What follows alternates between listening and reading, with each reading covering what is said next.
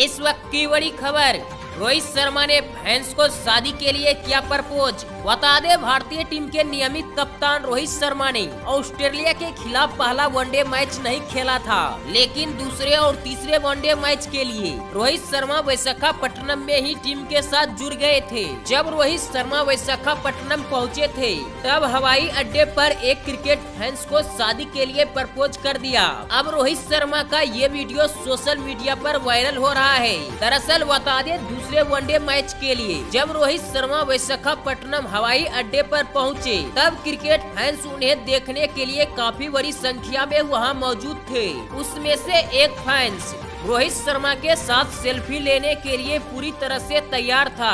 जब रोहित शर्मा आ रहे थे, तब वो फैंस फ़ोन में रोहित शर्मा को कैप्चर करते आ रहा था। तभी रोहित शर्मा ने एक गुलाब का फूल उसे दिया और मज़ाक करते हुए उससे पूछा will you marry me viral video में देखा जा रहा है। रोहित शर्मा पहले उस फैंस को गुलाब का फूल दिया और फिर जाते जाते पूछा विल यू मैरी मी इसके बाद वो फैंस भी मुस्कुराने लगा और रोहित के इस फनी अंदाज वाले वीडियो को फैंस काफ़ी पसंद भी कर रहे हैं।